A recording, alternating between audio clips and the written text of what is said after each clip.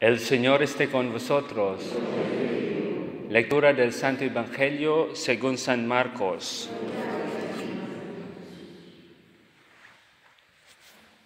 Comienza el Evangelio de Jesucristo, Hijo de Dios. Está escrito en el profeta Isaías, yo envío mi mensajero delante de ti para que te prepare el camino.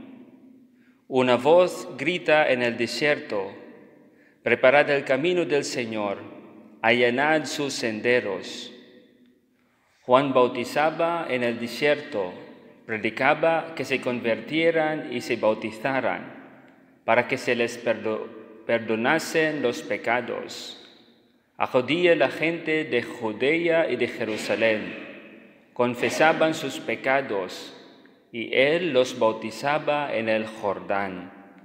Juan iba vestido de piel de camello, con una correa de cuero a la cintura, y se alimentaba de saltamontes y miel silvestre, y proclamaba, Detrás de mí viene el que puede más que yo y yo no merezco agacharme para desatarle las sandalias.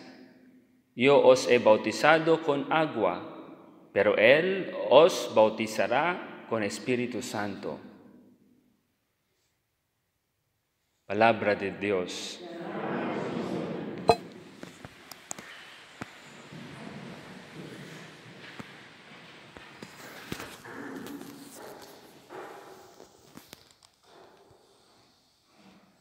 Buenos días. Hoy es el segundo domingo de Adviento. Desearía concentrar su atención hacia el tema de las lecturas de hoy, que tratan sobre la esperanza, la expectación por la venida de Jesús y el deseo por nuestra conversión y salvación. En la segunda lectura San Pedro nos dice, el Señor no retrasa su promesa, como piensan algunos, sino que tiene paciencia con vosotros, porque quiere que nadie se pierda, sino que todos accedan a la conversión. El adviento es la preparación al nacimiento de Jesús y Él quiere nacer en nuestro corazón, en nuestra vida, dentro de nuestras familias. Esto solo es posible si nos convertimos por el amor a Dios y cambiamos la vida con la humildad de Jesús. Recordemos también que en el Salmo hemos pedido la misericordia del Señor y que recibamos la salvación por la gracia del nacimiento del Salvador. Al final San Pedro nos dice, por eso, queridos míos, mientras esperáis estos acontecimientos, procurad que Dios os encuentre en paz con Él, intachables, irreprochables. En el Evangelio, Juan el Bautista se dirige a nosotros con esta invitación. Preparad el camino del Señor, enderezad sus senderos. El profeta predicó un bautismo de conversión para el perdón de los pecados. Hay que estar limpios de alma y corazón para que podamos recibir al Señor, para que seamos dignos de acogerle tal como Él se merece. Por otra parte, el profeta está diciendo que Él bautiza, que Él bautiza con agua, pero que Jesús nos bautizará con el Espíritu Santo. Con el bautizo del Espíritu renacemos para ser hijos de Dios por el mérito de Jesús. Este bautizo nos hace también miembros de la Iglesia y herederos del reino de Dios, es decir, de, de la salvación, de la vida. A quienes de ustedes han bautizado? ¿Nadie? Todos nosotros. Ser bautizados significa tres cosas. Primero, somos hijos de Dios.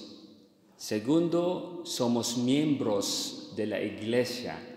Y tercero, somos herederos de la salvación eterna.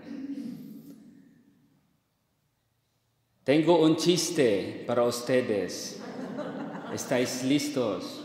¿Están listos ustedes? Este chiste empieza con que el sacerdote está hablando con su sacristán. con su sacristán. Le pregunta sobre cómo ayudarle con el problema de los murciélagos que se agrupaban en la cúpula de la iglesia. ¿Sí? El sacristán le dijo al sacerdote que tenía una buena solución coja usted agua bendita y bautice a los murciélagos. El sacerdote le preguntó sorprendido, ¿y por qué? El sacristán le dijo, porque son muchos los que después de ser bautizados ya no vuelvan más, vuelven más por la iglesia.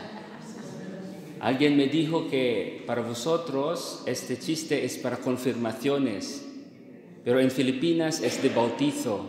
Y también en este domingo estamos hablando de bautizo. Entonces hay alguien que después de ser bautizados ya no vuelven más por la iglesia. Volviendo al tema de este domingo, el de la esperanza. Que no dejemos de mantener esa esperanza de que muchos de los que han sido bautizados vuelvan a visitar a Jesús, a conocerle más y acogerle de nuevo en sus vidas. Recemos para que Jesús nazca de nuevo en nuestras vidas y también en las de aquellos que se han alejado un poco de Dios. Acerquémonos a la iglesia frecuentemente y recibamos con fervor a Jesús en la Eucaristía. que é essa seja. Amém.